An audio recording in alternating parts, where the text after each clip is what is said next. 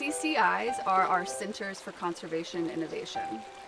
And it's a statewide program. We've got three focal preserves around the state. Um, one of them is up in the Grand River Grasslands in the northeast part of the state. The other one is here in the beautiful mid-Missouri Riverlands near Columbia. And then the third one is down in the Ozarks. Um, and our CCI program is kind of like the connective tissue, I think, between all of the different work that we do. It encompasses improved management, so doing conservation and stewardship, but it also encompasses providing uh, food, water, tackling climate change. And so the CCI program kind of is a place-based for all of these different facets of our work to come together and coexist. And you can see that uh, you can't tackle these interconnected crises of biodiversity and climate change without having interconnected solutions that are grounded in place. And so that's sort of the beauty of these CCIs is taking a lot of the work that we do, integrating it in one place in a holistic system that shows how other partners and land managers can be using their land too. My vision for these locations is that they will be regional hubs for both us as well as our partners uh, to be able to test out new solutions, to gather for training, to gather for education and outreach events, um, but really that they serve as anchor sites or hubs um, in particular geographies that we know are important. Those locations are sort of emblematic of the different ecoregions and ecosystems that are most important here in Missouri.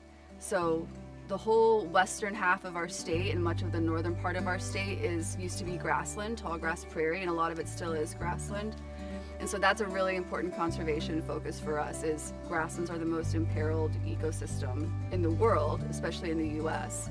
And so we're trying to focus on grassland conservation. And having the CCI up there, the Center for Conservation Innovation, layered in with the land protection work that we're doing and layered in with the Habitat Strike Team stewardship work that we're doing allows us to take this like holistic approach to conservation that's done in partnership with the communities. The other focus area that's a big part of our state is our big rivers and floodplains. So we have the Mississippi and the Missouri River running through our state at the confluence where they meet. And so that's a big land type in Missouri that also is really important for conserving biodiversity habitats, but also tackling climate change.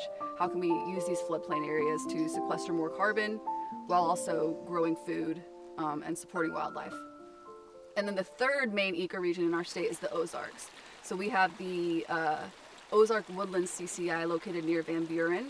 And so this is situated in, it's a really cool spot that has a lot of Ozark habitat types crammed into one location. So it's got our Mill Creek itself, the stream and the, the river itself. It's got uh, Ozark Woodlands. It's got a fen, which is a cool karst type of landform.